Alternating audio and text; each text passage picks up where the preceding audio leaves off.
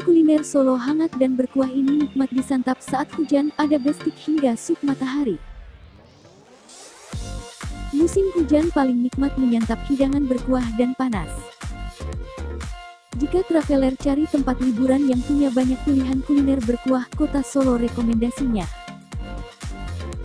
Kota Solo punya beragam kuliner berkuah yang memiliki rasa khas dan menggoda selera. Beberapa kuliner berkuah di Solo tidak boleh kamu lewatkan seperti selat Solo, bestik Solo, mie gajah mas hingga sup matahari. Dilansir dari berbagai sumber, Tribun Travel merangkum tujuh kuliner berkuah di Solo yang cocok dinikmati saat turun hujan. 1. Selat Solo Selat Solo adalah sajian berupa daging sapi yang diiris agak tipis dan kadang berbentuk bola. Irisan daging sapi ini disajikan dengan kentang goreng, buncis, telur bacem, wortel rebus bersatu dengan kuah coklat manis dengan mustard di atasnya. Cita rasa yang segar cocok dinikmati ketika hujan dan untuk kamu yang sedang diet. 2. Bestik Solo dalam satu porsi bestik solo berisi campuran daging seperti daging sapi, lidah ayam, butuh puritan yang dicampur dengan tomat, wortel, kentang, sawi, bawang bombay, selada. Semua bahan tersebut dipadukan dengan kuah manis yang berwarna kecoklatan. Bila kamu suka, kamu juga bisa menambahkan acar untuk rasa yang lebih nikmat lagi. 3. Tengkleng Solo Sebenarnya kuliner tengkleng Solo hampir mirip dengan gulai kambing, perbedaannya terletak pada kuahnya yang lebih encer.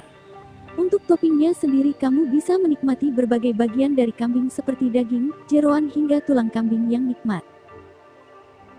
Satu porsi tengkleng disajikan dengan taburan bawang goreng yang pas. 4. Timlo Timlo adalah kuliner berkuah di Solo yang mempunyai rasa gurih yang sangat menggoda lidahmu. Dalam satu porsinya, timlo disajikan bersama irisan hati dan ampela ayam, suiran daging ayam, bihun, dadar gulung dan telur bacem serta jamur. Semua bahan tersebut kemudian direndam ke dalam kuah bumbu rempah yang khas banget. 5.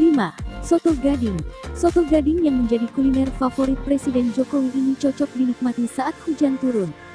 Soto gading memadukan campuran soto seperti bihun, daging dan jeroan ayam toge hingga dedaunan dengan kuah kaldu ayam yang khas. Kamu juga bisa menambahkan beberapa macam lauk seperti empal, satu usus tahu dan tempe hingga ikan bandeng untuk menikmatinya. 6. Sup matahari Sup matahari adalah kuliner berkuah yang biasanya disantap bersama dengan selat solo. Kuliner ini terbuat dari olahan pangsit telur berbentuk bunga matahari dengan campuran wortel, jamur kuping, sayuran hingga sosis. Kemudian semua bahan tersebut direndam dengan kuah rebusan daging yang gurih.